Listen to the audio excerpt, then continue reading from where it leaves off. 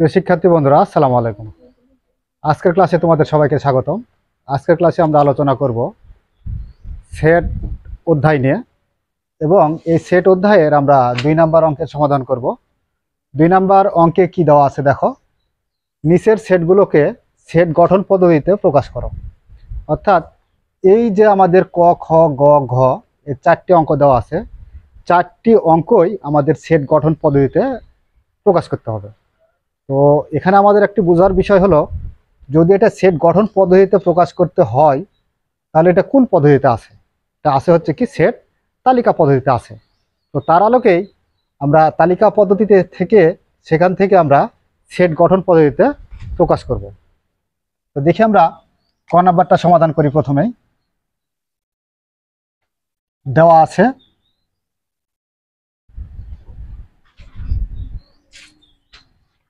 দেওয়া আছে। Three five seven nine eleven এটা। এখন এটা কি পদ্ধতিতে আছে আমাদের? এটা সেট তালিকা পদ্ধতিতে আছে। এই তালিকা থেকে আমাকে সেট গঠন পদ্ধতি তৈরি করা লাগবে। তো সেক্ষেত্রে আমরা এখানে ধরতে পারি, ধরি, আমরা সেট বড় হাতের এ বি সি এগুলাতে আমরা প্রকাশ করতে পারি। তো আমরা বড় হাতের এ ধরলাম। এ সমান three five seven nine eleven তো দেখো, এখানে এ সেট এ সেটের ভিতরে আছে আমার three five seven nine eleven এই সেটের উপাদানগুলো প্রত্যেকটাই কিন্তু আমরা দেখতে পাচ্ছি যে এখানে বিজোড় সংখ্যা। তো আমরা এখানে লিখতে পারি, এ সেটের উপাদানগুলো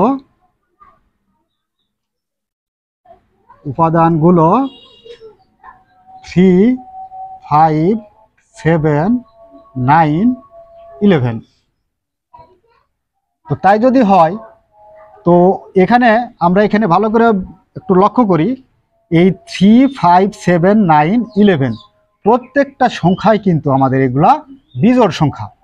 তো এখানে আমরা এইভাবে লিখব, এখানে এখানে প্রত্যেকটি উপাদান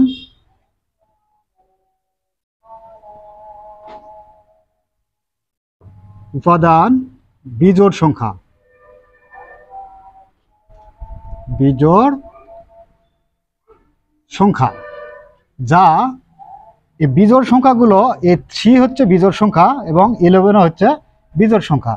সেটা হচ্ছে আমাদের এ থ্রি থেকে মানে ওয়ান থেকে থ্রি বড় এবং তেরো থেকে এগারো ছোট। সুতরাং আমরা এটা লিখতে পারি থ্রি থেকে বা এক থেকে এক থেকে বড় এবং তেরো থেকে ছোট। বিজোড় সংখ্যা।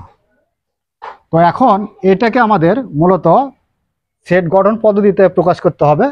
সুতরাং আমরা লিখতে পারি, অতএব নির্ণয় সেট। যেহেতু আমরা সেটটা ধরেছি কাকে? এই এ সমান সেট গঠন পদ্ধতিতে তৈরি করতে হলে মানে লিখিত আকারে প্রকাশ করতে হবে।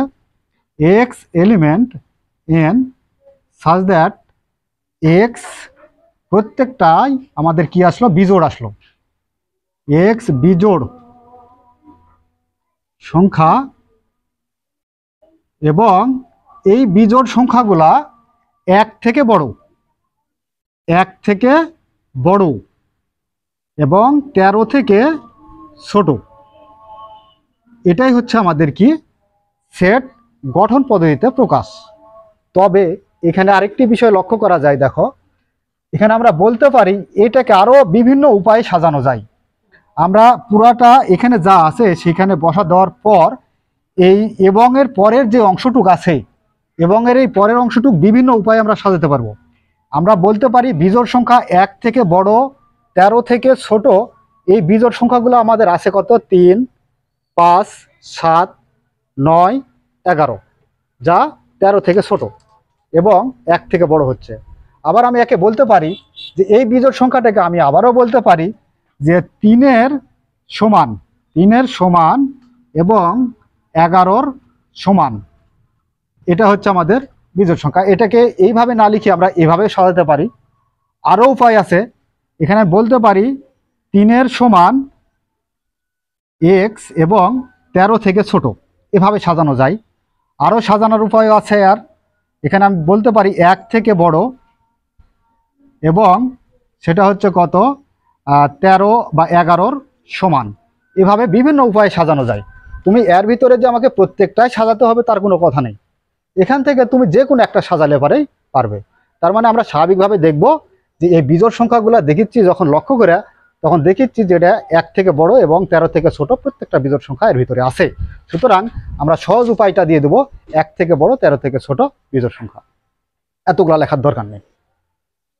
তো আচ্ছা এটাই আমাদের জন্য ক নাম্বারের জন্য অ্যান্সার তো আমরা পরবর্তী নাম্বার খ করি দেখি।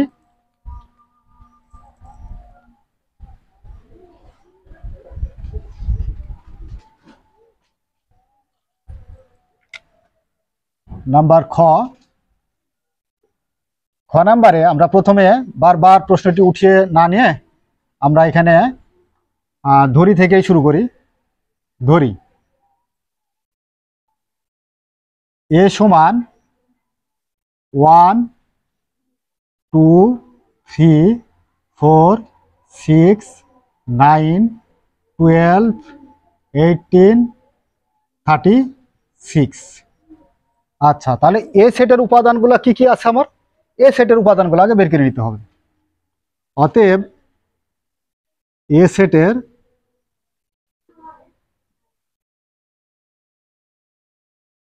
উপাদান সমূহ। মানে যেহেতু একের অধিক উপাদান, তাই আমরা সমূহ লিখলাম। তাহলে উপাদান কি কি? যেগুলো আছে সবগুলাই উঠে নাও। One, two, three, four, six, nine, twelve, eighteen, thirty six. তো এই উপাদানগুলোকে এখন আমার একটু ভালোভাবে নজর দিয়ে দেখতে হবে। যে আসলে উপাদানগুলো এখান থেকে এক, দুই, তিন, চার, ছয়, নয়, বারো, আঠারো, ছত্রিশ। প্রত্যেকটা উপাদান এখানে শুরুর দিক থেকে আমাদের আছে কি? স্বাভাবিক সংখ্যা। এবং লাস্টের এই ছত্রিশকে লক্ষ্য করে দেখা যাচ্ছে যেখানে প্রত্যেকটা উপাদান ছত্রিশের গুণনীয়ক। ছত্রিশের গুণনীয়ক তুমি কীভাবে বুঝবে? দেখো, ছত্রিশকে আমরা যদি গুণনীয়ক বের করি ছত্রিশের, তাহলে এক গুণ ছত্রিশ মানে ছত্রিশ করতে ছত্রিশ। আঠারো দুগুণে ছত্রিশ। তিন বারাং ছত্রিশ মানে বারো। চার নং ছত্রিশ, ছয়ে ছয়ে ছত্রিশ। তার মানে আমরা এই সাইড থেকে উঠে এই পার দিয়ে যদি দেখি, লক্ষ্য করে, তাহলে দেখতে পাবো প্রত্যেকটা সংখ্যাই এর ভিতরে আছে। এক, দুই, তিন, চার, ছয় ছয়। দুই ছয়ের থেকে এক ছয় নিতে হয়। নয়, বারো, আঠারো, ছত্রিশ। দেখো, এক, দুই, তিন, চার, তার মানে এই পার দিয়ে নামলো। তারপরে আছে কি ছয়? তার মানে কি একটা ছয়? তারপর নয়, বারো, আঠারো, ছত্রিশ। তার মানে কি প্রত্যেকটা বোঝা যাচ্ছে যে ছত্রিশের গুণনীয়ক। তো তাই যদি হয়, তাহলে এখানে আমরা লিখতে পারি যে এখানে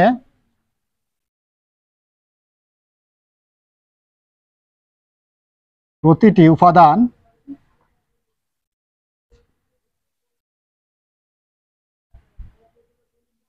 স্বাভাবিক সংখ্যা এবং এরা ছত্রিশ এর গুণনীয়ক। অতএব আমরা নির্ণয় সেট লিখতে পারি, নির্ণয় সেট এ সমান এক্স এলিমেন্ট। যেহেতু এটাকে আমরা সেট গঠন পদ্ধতিতে প্রকাশ করতে হবে সুতরাং এখানে আমাদের এটুক দেওয়া বাধ্যতামূলক। এটুক যদি সেটিং করতে না পারো, তাহলে কিন্তু হবে না। এক্স এলিমেন্ট এন সার্চ দ্যাট এক্স কি হলো? ছত্রিশের গুণনীয়ক। ছত্রিশ এর গুণনীয়ক।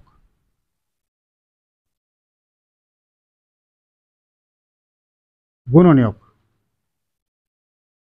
এটা হচ্ছে আমাদের খ নাম্বারের জন্য অ্যান্সার আচ্ছা এইবার আমরা পরবর্তীতে যাই, দেখো, গ নাম্বারে। আচ্ছা গ নাম্বারটা দেখো কি আছে। Four, eight, twelve, sixteen, twenty twenty four, twenty eight, thirty two, thirty six, forty. তো এগুলা আমাদের গ নাম্বারে আছে, এই উপাদানগুলা। এই উপাদানগুলা আমরা সেট গঠন পদ্ধতিতে প্রকাশ করব। আমরা প্রথমে নাম্বার দিয়ে দিই। দেওয়ার পর ধরি এ সমান four eight twelve sixteen twenty twenty four twenty eight thirty two thirty six forty আচ্ছা তো এখন এ সেটের উপাদানগুলো কি কি আছে সেগুলো একটু আলাদা করে নিতে হবে। অতএব এ সেটের উপাদান সমূহ।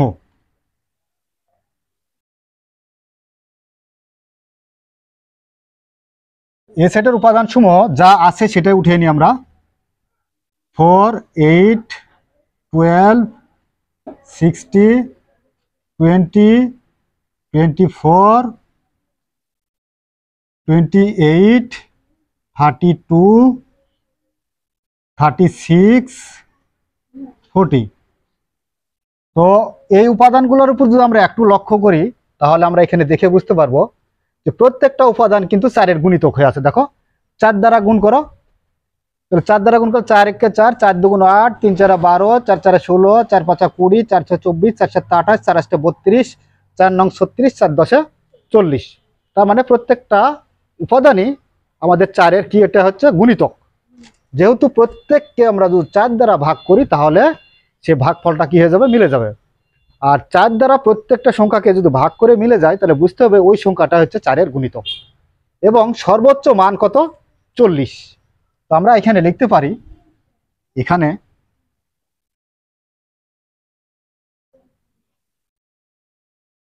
প্রত্যেকটি উপাদান চার এর গুণিতক। এবং এর সর্বোচ্চ মান চল্লিশ। তার মানে চল্লিশের উপরে হতে পারে না। সর্বোচ্চ মান হবে কত? চল্লিশ। অর্থাৎ চল্লিশ অথবা চল্লিশের চাইতে ছোট। কিন্তু চল্লিশের বেশি নয়। অতএব নির্ণয় সেট এ সমান এক্স এলিমেন্ট এন সার্চ দ্যাট এক্স চার এর গুণিতক। এবং সর্বোচ্চ মান কত বললাম? সর্বোচ্চ মান কিন্তু চল্লিশ। তার মানে চারের গুণিতক এর সর্বোচ্চ মান হলো কত? চল্লিশ। তার মানে চল্লিশের সমান হতে পারে। চল্লিশ বা চল্লিশের সমান। চল্লিশের চাইতে ছোট বা চল্লিশের সমান। এটা হলো আমাদের গ নাম্বারের জন্য অ্যান্সার আচ্ছা পরবর্তী অপশান ঘ। ঘ নাম্বারটা সমাধান করি, দেখো।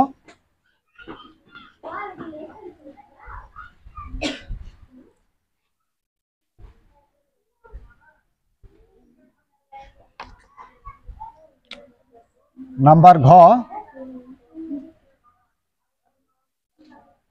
ধরি এ সমান plus minus four, plus minus five, plus minus six. এটা হলো এ সেটের উপাদান। তো আমরা এ সেটের উপাদানগুলোকে একটু আলাদা করে নিই। অতএব এ সেটের উপাদানসমূহ।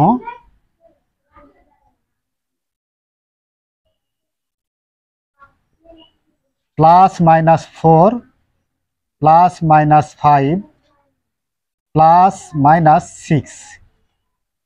এগুলাই হচ্ছে আমাদের এ সেটের উপাদান। এখানে আমাদের একটা বিষয় বুঝতে হবে, প্লাস মাইনাস কেন দেওয়া আছে? প্লাস মাইনাস এই জন্য দেওয়া আছে। এখানে আমাদের এই প্লাস এবং মাইনাস, সেটা হচ্ছে বর্গের ক্ষেত্রেই দেওয়া থাকে। তার মানে কি? চারের উপর যদি আমরা বর্গ করি, তাহলে কত হয়? চার চারা ষোলো। আবার ছয়ের উপর যদি আমরা বর্গ করি, তাহলে কত হবে? ছয় ছয়ে ছত্রিশ। তার মানে কি? সর্বোচ্চ মান হলো ছত্রিশ এবং সর্বনিম্ন মান হচ্ছে ফোর বা ষোলো। ষোলোর বর্গ চারের বর্গ হলো কত? ষোলো। তো তাই যদি হয়, তাহলে এখানে বুঝতে হবে যে প্লাস মাইনাস থাকলে সেটা আমরা হিসাব করব কিসে? বর্গে। তো এখানে আমরা এইভাবে লিখতে পারি যে এখানে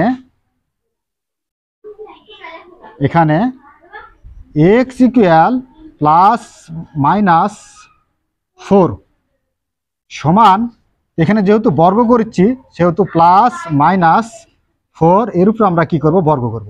বর্গ করলে কত হবে? চার চারা ষোলো। প্লাস মাইনাস আর দেওয়ার দরকার নেই। ষোলো দিয়ে দিই।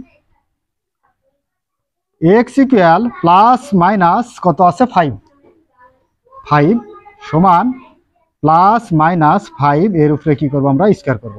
সমান পাঁচ পাঁচা পঁচিশ। X equal plus minus six সমান প্লাস মাইনাস সিক্সের উপর আমরা কী করব? বর্গ করব। তাহলে ছয় ছয় কত হলো? ছত্রিশ। এখন লক্ষ্য করি, দেখো চারের বর্গ কত আসছে? ষোলো। এবং ছয়ের বর্গ কত আসছে? ছত্রিশ।